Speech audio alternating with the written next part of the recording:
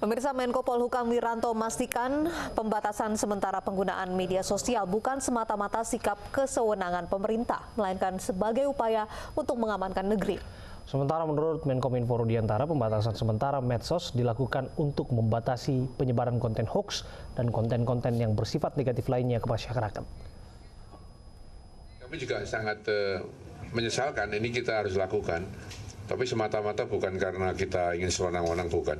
Betul-betul kami mengajak bahwa uh, ini merupakan satu upaya untuk mengamankan negeri ini, negeri yang kita cintai ini.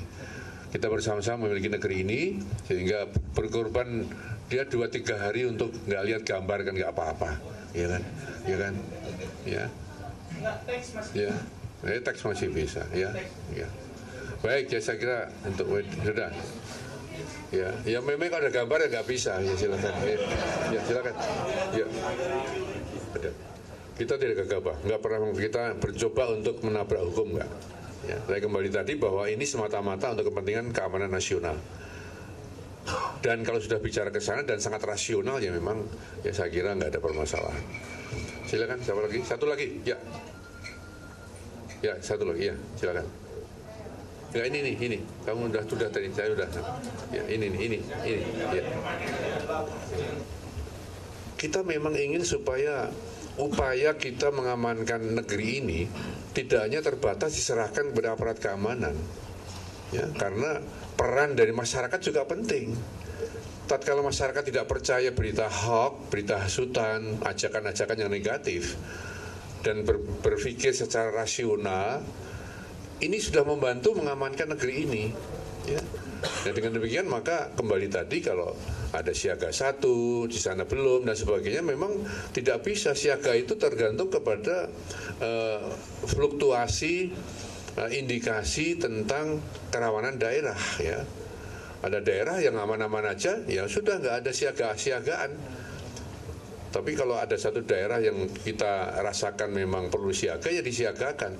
Tetapi kalau secara nasional ya tentu nanti ya akan tidak adil karena nanti uh, satu wilayah yang normal-normal saja terpaksa harus melotot sana melotot sini kan tidak bagus.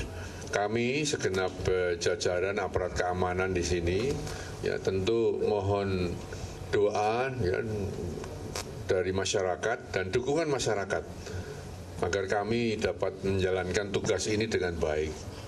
Mudah-mudahan Allah Subhanahu wa taala memberikan bimbingan, petunjuk kepada kita sekalian agar di bulan suci Ramadan ini kita tetap bisa mempertahankan ukhuwah ya, ukhuwah Islamiyah, ukhuwah wataniyah, persaudaraan kebangsaan kita, membangun kebaikan, kejujuran, kemuliaan ya sehingga pada saat bulan suci Ramadan nanti ya kita sudah bisa saling maaf-maafkan dan menghilangkan berbagai perbedaan.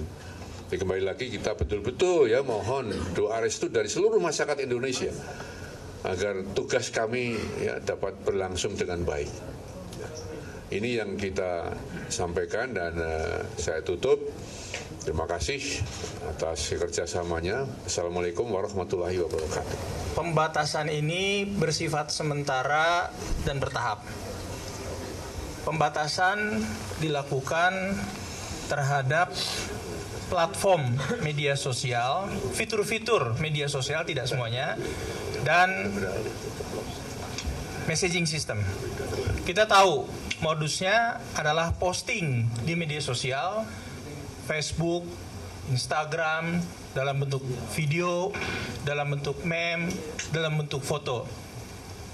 Kemudian screen capture diambil viralnya bukan di media sosial, viralnya di messaging system WhatsApp. Nah, jadi teman-teman akan mengalami, kita semua akan mengalami pelambatan kalau kita download atau upload video. Kemudian juga foto. Mengapa? Karena viralnya yang negatif besarnya mudaratnya ada di sana. Tapi sekali lagi ini sementara secara bertahap. Jadi justru kalau menurut saya kita sangat mengapresiasi media mainstream. Biasanya mainnya di media online, media sosial, dan sekarang kita kembali sementara di media mainstream. apresiasi saya kepada teman-teman media mainstream. Terima kasih.